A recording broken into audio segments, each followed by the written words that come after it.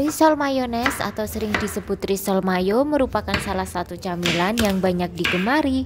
Mayones yang lumer menjadi poin utama dari camilan ini.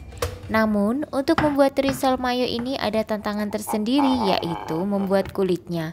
Bila tak benar saat proses pembuatan, kulit risol dapat mudah sobek. Apalagi membuat kulit risol pun bisa dikatakan cukup ribet. Proses pembuatan kulit risol bahkan bisa lebih lama dan membuat risol mayo itu sendiri. Namun jangan khawatir, ada cara yang lebih praktis untuk membuat risol mayo. Kamu bisa memanfaatkan roti tawar untuk membuat risol mayo loh.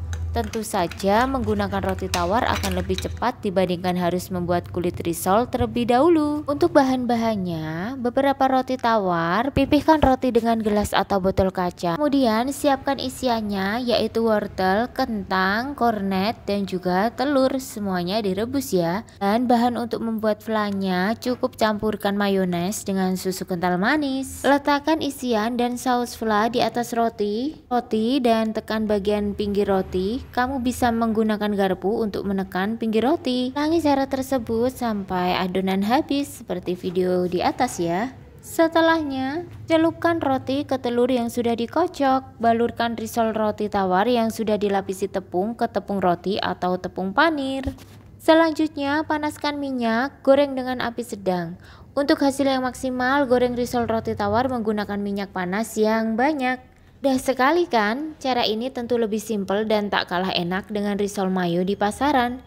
Kamu bisa cocol risol mayo menggunakan saus favoritmu.